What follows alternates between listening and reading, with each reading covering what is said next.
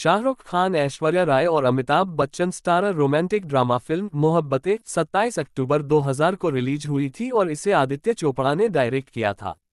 Film में उदय चोपड़ा, शमिता शेट्टी, जुगल हंसराज, किम Sharma, Jimmy Shergill और प्रीति झंगियानी भी हैं। इस फ़िल्म की रिलीज़ को 22 साल हो गए हैं। आदित्य के निर्देशन में बनी इस दूसरी फ़िल्म के 22 साल पूरे होने पर यशराज फ़िल्म सेलिब्रेट कर रहा है।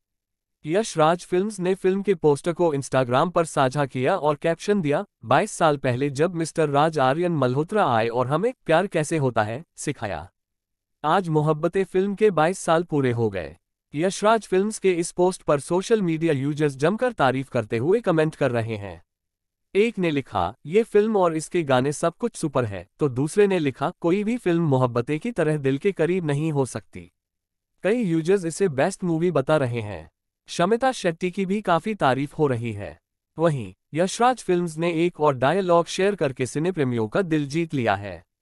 मोहब्बतें फ़िल्म के गाने और डायलॉग आज भी बेहद पसंद किए जाते हैं।